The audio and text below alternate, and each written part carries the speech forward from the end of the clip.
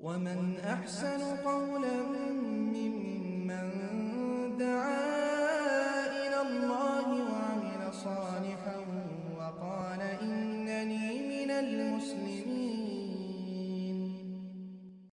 ওয়ালাইকুম আসসালাম রহমতুল্লাহ একদিন বোন আপনি জানতে চেয়েছেন সালাতে সুরা ফাতিহা তেলাওয়াতের পর অন্য সুরার মাঝের আয়াত থেকে যদি কেউ তেলাওয়াত শুরু করে আহ, সে কি ইস্তিআদা বা বাসমাল্লা সহ আহ, শুরু করবে, তার মানে সে কি আউদুবিল্লাহ বিসমিল্লা পড়ে শুরু করবে নাকি কীভাবে সে পড়বে?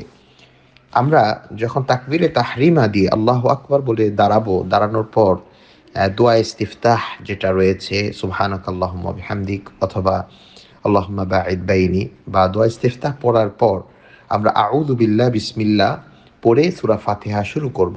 এরপর সুরা ফাতেহা পড়ার পর অন্য যে সুরা আমরা তেলাওয়াত করব, সেটা যদি কোরআনের কোনো সুরার মধ্যখান থেকে হয়, তাহলে আউযু বিল্লাহ পড়ার প্রয়োজন নেই। আমরা জানি যে আউজুবিল্লাহ যদি আমরা কোরআনের কোনো সুরার মধ্য অংশ থেকে পড়ি, তাহলে আমরা আউজুবিল্লাহ মিনাশ শাইতানির রাজিম পড়ে আমরা পড়ে থাকি বা পড়ি।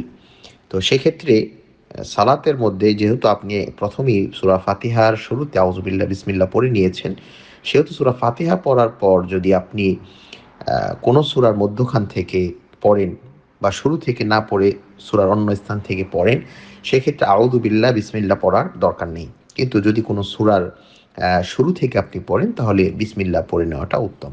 আপনি মনে করেন সুরা ফাতিহা পড়ার পর আপনি সুরা নাস পড়বেন সেক্ষেত্রে আপনি সুরা ফাতিহা শেষ করার পর আস্তে করে বিসমিল্লাহ রহমান রহিম বলে তারপর আপনি সুরা নাস তিলাওয়াত করতে শুরু করবেন। আর যদি এমন হয় যে আপনি সুরার বাকারার শেষ রুকু আপনি তিলওয়াত করবেন, যেমন লিল্লাহি মাহফিস সামা এখান থেকে আপনি পড়বেন। তো সেক্ষেত্রে সুরা ফাতিহা পড়ার পর আউদুবিল্লা বিসমিল্লা বলার প্রয়োজন নেই। আল্লাহ আলম বিসব বারাকাল্লাহ ফিকুম।